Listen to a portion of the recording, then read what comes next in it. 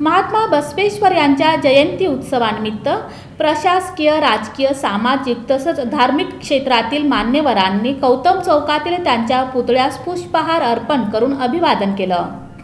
छत्रपती शिवाजी महाराज मध्यवर्ती मंडळाच्या वतीनं बसवेश्वर महाराज यांच्या जयंतीनिमित्त कौतम चौक येथील त्यांच्या पूर्णाकृती पुतळ्यास अभिवादन करण्यात आलं.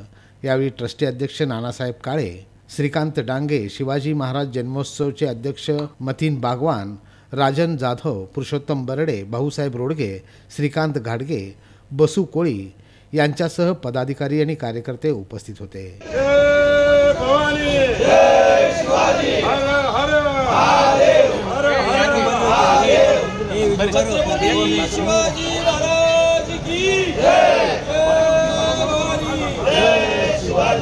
महात्मा बसवेश्वर महाराज जय त्याचप्रमाणे जगज्योती महात्मा बसवेश्वर महाराज यांच्या जयंतीनिमित्त बसवेश्वर महाराजांच्या पूर्णाकृती पुतळ्यास भाजपचे आमदार विजयकुमार देशमुख यांनी अभिवादन केलं.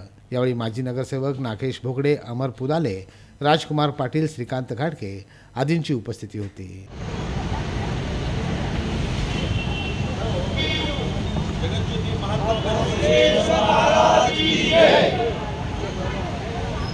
भाजपचे आमदार सुभाष देशमुख यांनी देखील बसवेश्वर महाराजांच्या पुतळ्यास अभिवादन केलं. यावेळी सोमनाथ केंगणाळकर जगदीश पाटील यांच्यासह अनेक कार्यकर्ते उपस्थित होते. तसंच महापालिका आयुक्त शीतल तेली उगले त्यानंतर संदीप कारंजे यांनी महात्मा बसवेश्वरांना अभिवादन केलं. यावेळी माजी महापौर शोभा बनशेट्टी माजी आमदार विश्वनाथ चाकोते यांच्यासह मान्यवर उपस्थित होते.